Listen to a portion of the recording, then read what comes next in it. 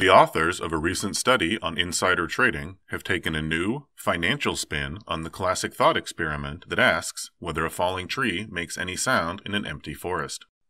Looking at how corporate insiders might use confidential information to make trades, they ask if executives of publicly traded companies meet with investors and no one from the public is around, does the information exchanged still influence the stock market?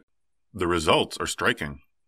The authors showed that, leading up to a private meeting, investors traded stocks based on the belief that the meetings would reveal positive information. These run ups generated an average of 11 million US dollars per firm. The authors gathered this insight using the Shenzhen Stock Exchange, which offers unusual data. It requires listed companies to report the dates and minutes of their private meetings with investors, giving researchers a sneak peek at insider information. The authors mined this data and compared it with trading patterns to determine the impact of this privileged information. On average, each company held five private meetings. 20% of these meetings could be linked to disclosed insider trading activities.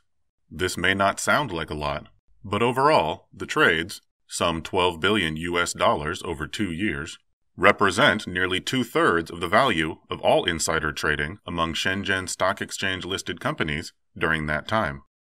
Given these findings, the authors ask whether developed markets like the US should follow the lead of Shenzhen and require public records of private meetings. Maybe, they argue, it's time to allow everyone to trade on this information, not to condone insider trading, but to level the investment playing field.